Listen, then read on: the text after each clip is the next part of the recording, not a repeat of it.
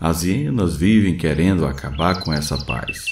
Caçadoras oportunistas se juntam para roubar as presas dos felinos. Mas nem sempre isso dá certo. E geralmente, quando elas não conseguem, elas partem para a briga. Os leopardos marcarão alguma integrante para o confronto. Nessa cena impressionante, esse leopardo conseguiu abater uma grande hiena. Ela estava sozinha, o que facilitou a captura. A carne da hiena não é lá essas coisas para o leopardo. Mas em tempos de fome, tudo é bem-vindo. Ele come fazendo careta, mas o gosto da vitória é maior. Te convido, se inscreva no canal se você ainda não é inscrito, deixe o seu like e te espero no próximo vídeo.